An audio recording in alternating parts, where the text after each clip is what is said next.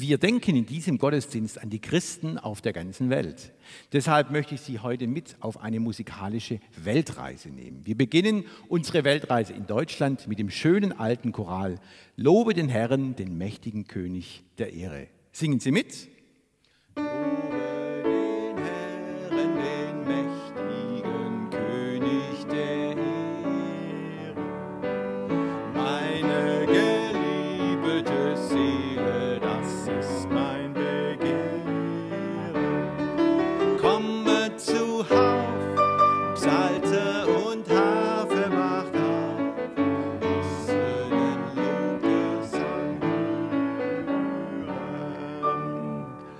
Wenn wir unsere Brüder und Schwestern in Südamerika besuchen, dann würden die diesen alten Choral wahrscheinlich so spielen.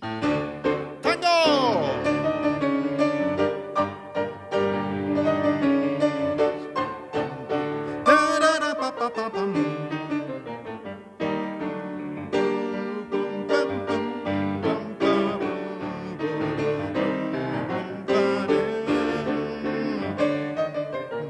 da da dum